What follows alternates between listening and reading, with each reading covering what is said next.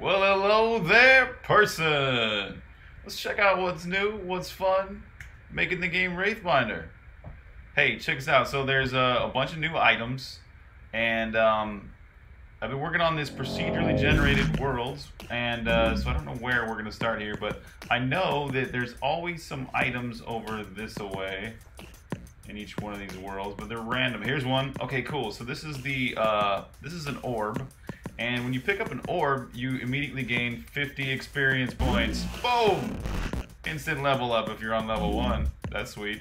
So um, there's a few other more items. Let's see what we can find. Oh, there's one. Cool.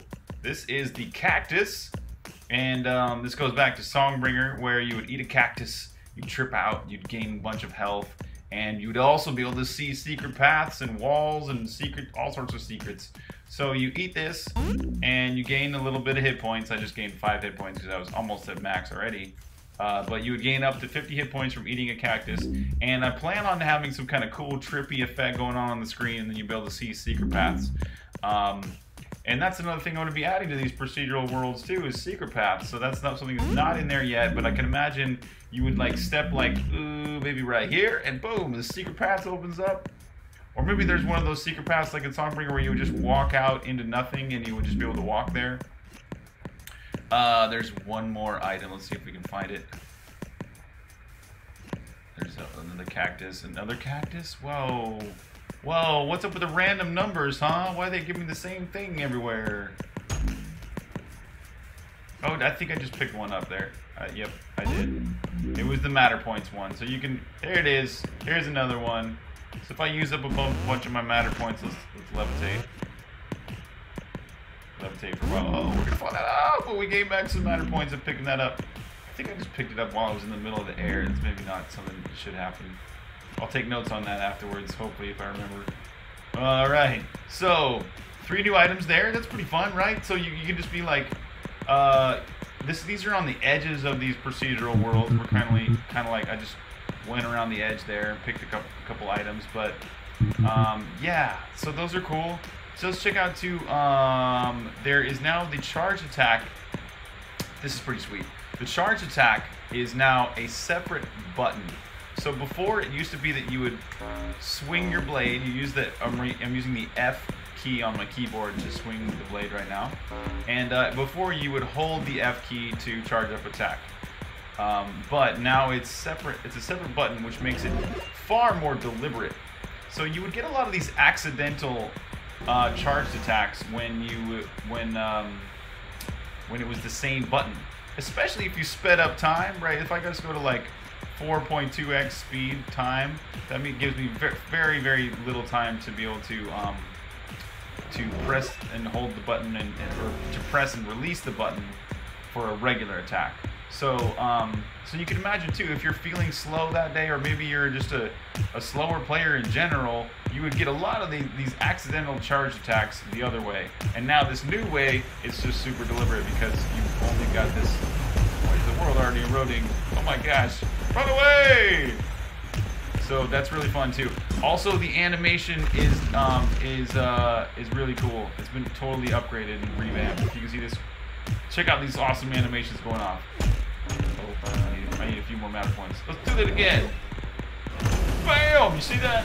Those blue and red things that go off in a circle and, and yeah, the old creeps. Love those guys. Okay, um, so we're not going to go into too much more. Oh, other than the fact that, check this out, there's a new um, walking animation while you are having your charged ability going off. So, see, we've charged up, and now he's got this sort of little shuffle dance walk he does when he walks around.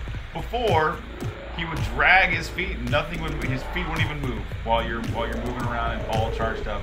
Now, he does the shuffle dance, and also with the shield. So when you're walking around with the shield, you've got that sort of walking animation going on, which uh, is just, just, a nice thing. It's a nice little thing to see that and have that animation um, just feel more congruous. So uh, let's go to the training world. This is the uh, last thing to show you here, today's video. Um, the training world has been revamped. This is now the third iteration of the training world. The first iteration was really boring and it was just a bunch of stations. I was just trying to get things out and like what what types of things are you gonna want to learn in the training world. Uh, the second iteration was a lot more fun because it this is this is just basically a continuation of the second one here. Uh, it it allows you to pick up the sword really fast and, and get into battle way faster, and it's just a lot more fun that way.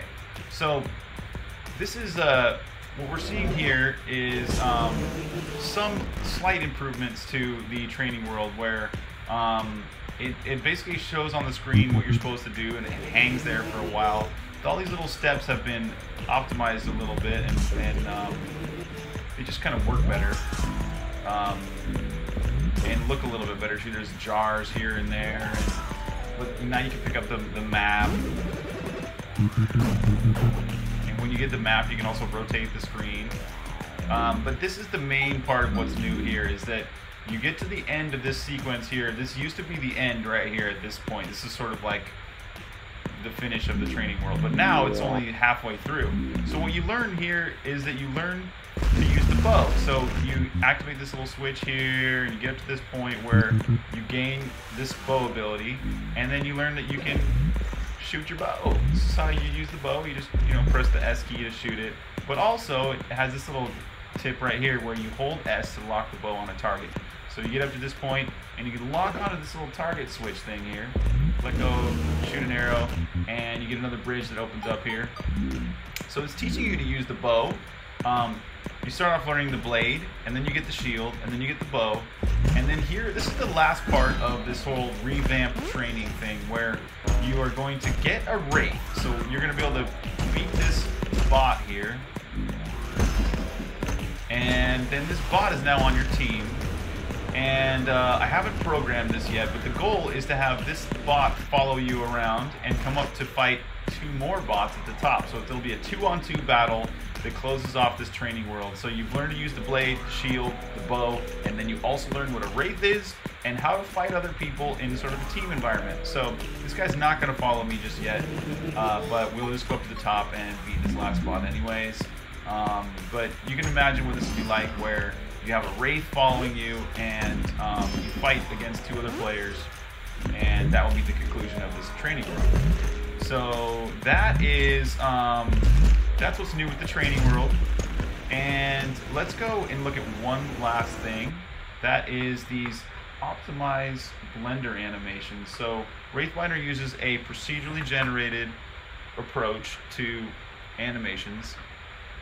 And uh, they're all, these are all these animations uh, I've created here in Blender.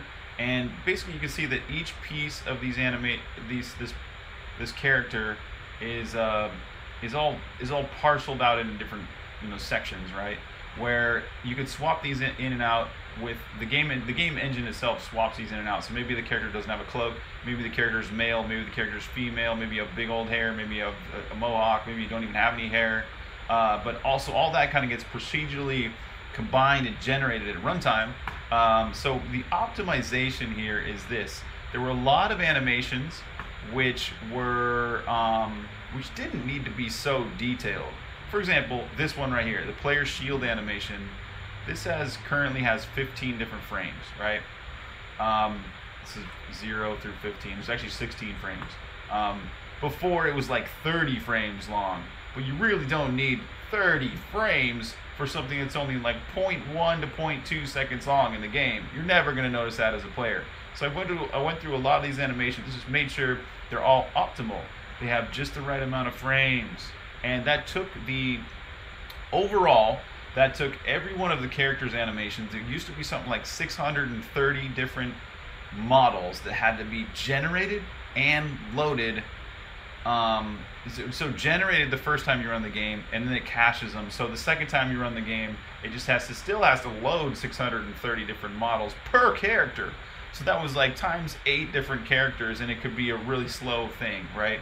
Uh, let's, for example, let's go back to um, the battle world, and we'll we'll load the game, and you'll see that it loads a lot. It loads twice as fast now, something like 180% faster.